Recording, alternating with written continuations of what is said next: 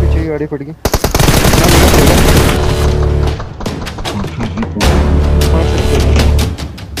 मारोगे तो इस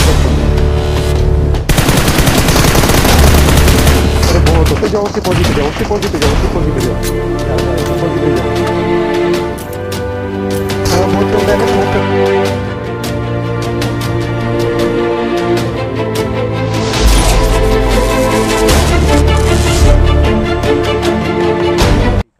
Hello, welcome back to the other video guys so guys जैसा कि मैंने प्रॉमिस किया था कि मैं कॉम्पिटेटिव गेम प्लेज एंड जो टिप्स एंड ट्रिक्स की वीडियोस है, वो मैं लाता रहूँगा। सो मैं अपना प्रॉमिस कंटिन्यू करते हुए आज का ये गेम प्ले लाया हूँ, जिससे आप लोगों को बहुत कुछ सीखने को मिलने वाला है। तो गाइस ऐसा कई बार आप लोग के साथ भी ऑब्वियसली हुआ होगा कि आपकी स्टार्टिंग में कभी मैन पावर कम हो जाती है अर्ली फाइट्स में ड्रॉप पे या कोई मर जाता है, या फिर आपका कोई टीममेट ऑफलाइन वगैरह होने की वजह से मर जाता है।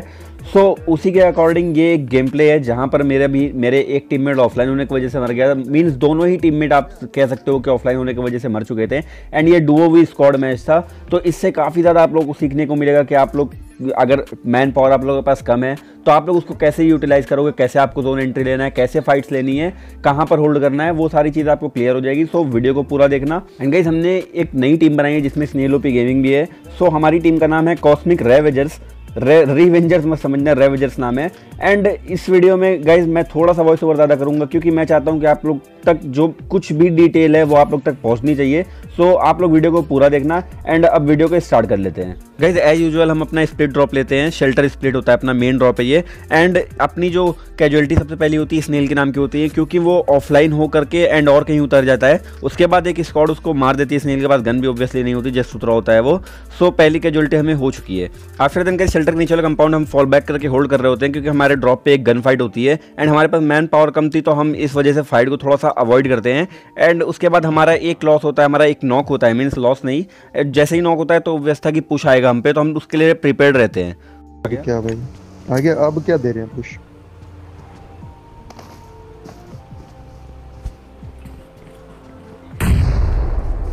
तुम पे आ रहे हैं गैस आपको हमेशा ध्यान रखना है कि आपके जब ऊपर स्लैम आता है आप अकेले कोई घर होल्ड कर रहे हो तो आप कंपाउंड से बाहर आना ऑब्वियसली सामने वाली टीम भी नेट्स करेगी एंड अपने टीममेट्स के कवर में खेलना होता है। सो मैंने भी यहाँ पर वही किया।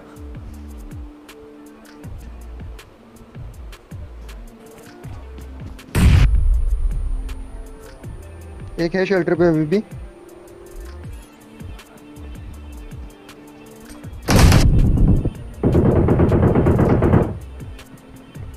गैस अब यहाँ पर जो मैं आकर के कॉर्नर में खड़ा हो रहा हूँ उसका एक, एक सिर्फ़ रीज़न है क्योंकि ऑब्वियसली नेड आएगा तो नेड एकदम से मेरे पास आके रुकेगा नहीं। इस कॉर्नर में अगर मैं रहूँगा नेट का डैमेज हल्का फुल्का आएगा और मैं बच जाऊँगा। सो इस वजह से मैं हर बार कॉर्नर में आके खड़ा हो जा रहा था एंड इनका ऑब्वियसली एक बंदा दूर से शेल्टर से भी कवर दे रहा तो मैं उसको भी कंटिन्यूसली स्पॉट कर रहा था। एंड हम एक ओपनिंग निकालने का वेट करते हैं यहाँ पे। नॉक। मारो सामने वाले को। नहीं नहीं सामने वाला सामने वाला तुम्हारे सामने वाला मारो उनको। चढ़ो उन पे जाओ जाओ जाओ।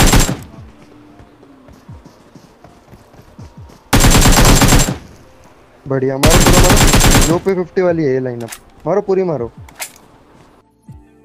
अब गई हमें आइडिया हो ही चुका रहता है कि सामने वाले बंदे भी थ्री मैन है तो हम लोग सीधा गाड़ी उठा करके पुश डालते हैं। एंड पीछे से हमारा टीममेट ऑब्वियसली एडीएस पे रहता है। सो अब आखिरी बंदा आप देखो इसको कैसे लेते हैं? पीछे जा रही हो शायद से देख के। एक एक्सट्रीम रेड जाओ एंगल मिलेगा।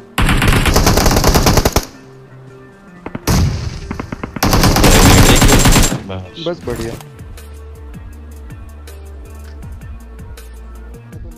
अब यहाँ से गई हमारा एक टीममेट आप देख सकते हो, और ऑफलाइन हो गया। जो सेकंड नंबर था, वो भी ऑफलाइन हो गया, क्योंकि उसका गेम क्रैश हो जाता है एंड गेम वापस वो गेम में आ ही नहीं पाता।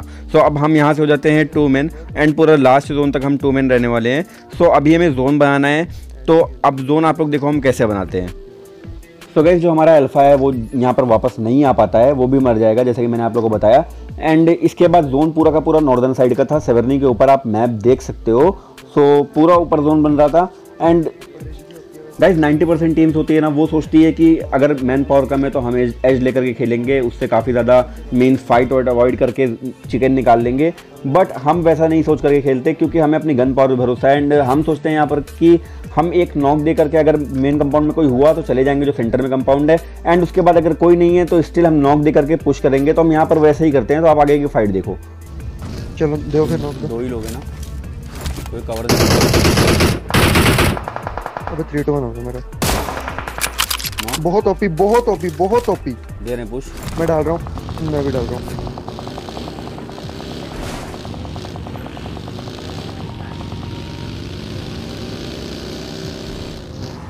नेट करो नेट दूँ मेरे पे नेट है तो करो मेरे पे भी नहीं है। वो कर रहा है। किल आ गया मेरा उसको पड़ी ऊपर वाले। हाँ ऊपर ऊपर वाले को पड़ी। डेड हो गए ऊपर वाले। डेड हो गए? तो वैसे सबसे पहली चीज़ कि आपको हमेशा अपनी गन पावर पे बिलीव होना चाहिए कि आप निकाल सकते हो फाइट्स हम एक्सपेक्ट कर रहे थे कि दो से ज़्यादा बंदे होंगे बट ये दो से, दो ही बंदे थे एंड एक बंदा इनको रिवाइव देते हुए पीछे री से खा गया तो हमें उन एनिमीज की भी लोकेशन पता चल चुकी थी, जो कि वेन का स्कॉट था। गाइज़ हम टू मैन होकर के स्लैम सिर्फ़ और सिर्फ़ इस रीजन से देते हैं, क्योंकि अगर हम टू मैन होकर के ओपन में खेलते हैं ऑब्वियसली हमारे पे मैन पावर कम है। एक बंदा पीछे रुक करके हमारे स्काउट कर नहीं पाता। अगर मान लो पीछे से कोई टीम आती, हम पे सीधा नॉक एंड पुश होता बट कंपाउंड में लोग नॉक करेंगे भी तो पुश करने से पहले चार बार सोचते हैं।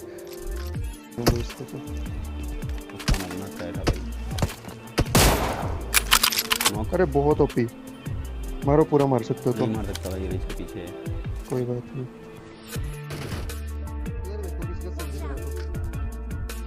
गाइस जहाँ पर अभी मैंने नॉक दिया, जहाँ मैं स्कोपिंग कर रहा हूँ एंड ये वाली जगह पर, ये दो जगह बंदे थे, हमें आइडिया था कि इन दो जगह जगह पर बंदे हैं बट हम जिसको मैंने नॉक दिया वीन का स्कॉट जो है, हम उन्हें ज़्यादा प्रेफर करते हैं, उन्हें उन्हें पिन करके रखना, उसका सिर्फ़ और सिर्फ़ एक रीज़न था गाइस जब आप एक कॉम्पिटेटिव खेल रहे होते हो ना तो आपको अपने अपने माइंड से सोचना होता है कि आप सामने वाली टीम की जगह मीन्स एनिमी टीम की जगह होते तो आप क्या करते वहाँ पे? सो वैसे ही हम सोचते हैं, क्योंकि लेफ़्ट वाली टीम का एक्सपेक्टेड था, वो हम पे पुश नहीं करेगी, सामने वाली टीम हम पे पुश करेगी, इस वजह से हम उनको पिन करके रख रहे थे लेफ़्ट वाली टीम का पुश करने का ना रीज़न मैं आपको बताता हूँ, क्योंकि वो अगर हमारे पे डायरेक्ट आते हैं तो उनको सामने जहाँ मैं नोक दिया अभी जस्ट वो वाले मारते हैं एंड ऊपर रिच से अलग पड़ती। तो उनका बहुत ज़्यादा सैंडविच हो चुका होता। एंड राइट वाले बंदे हमारे पे राइट से स्लैम दे सकते हैं, हमें एक्सपेक्टेड था, इस वजह से हम कंटिन्यूसली पिन करके रख रहे थे। ऑब्वियसली वो ओपन लेफ़्ट में पानी की साइड राइट वाले बंदे रुकेंगे नहीं क्योंकि उनको भी पीछे जो मेरे रीज है, वहाँ से ही पड़ती। इस वजह से हम पीछे की भी पूरी फाइट अवॉइड कर रहे हैं लेफ़्ट की भी पूरी फाइट अवॉइड कर रहे हैं। हम सिर्फ़ और सिर्फ़ उनको देख रहे हैं जस्ट बिकॉज़ एक आधा नॉक हम हम हर समय इनको करके रखेंगे। तो ये जोन इनको लेना थोड़ा सा मुश्किल हो सकता है। उनका एक आधा एक आधा बंदा शायद जोन से नॉक हो जाता। तो ये रीज़न था सिर्फ़ उनसे फाइट इंगेज करके रखना।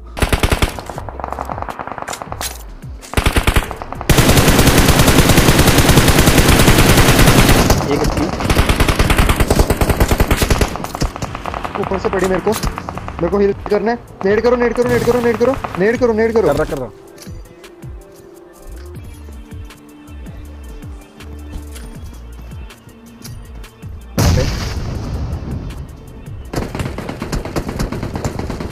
ऊपर से पड़ा यार।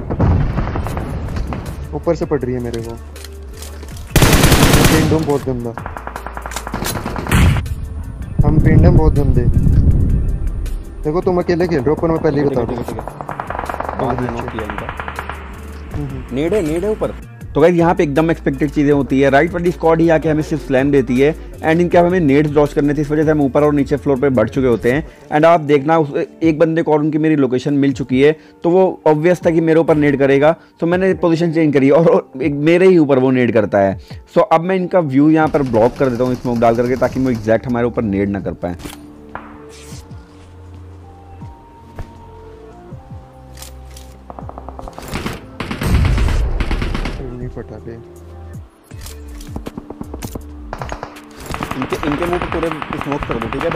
ये नेड करने का इनको एंगल ना मिले।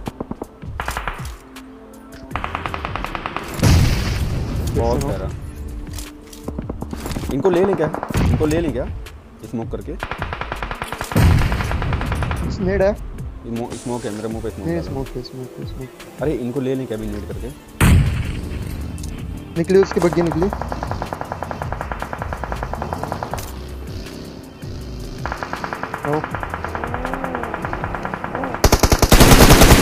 ले रहा हूँ इनको। पीछे ही गाड़ी पड़ गई।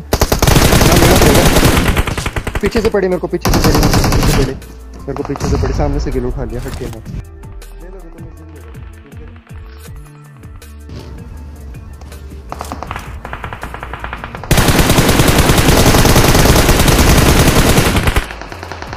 कोटी माई हिल कर लो हिल कर लो।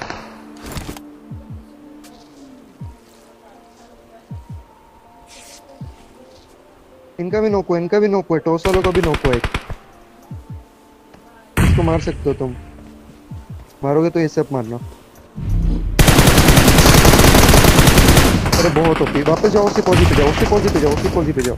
जा रहा जा रहा उसी पोजी पे जाओ। हाँ बहुत कम टाइम है स्मोक कर दो आगे। अभी करना चालू कर दो।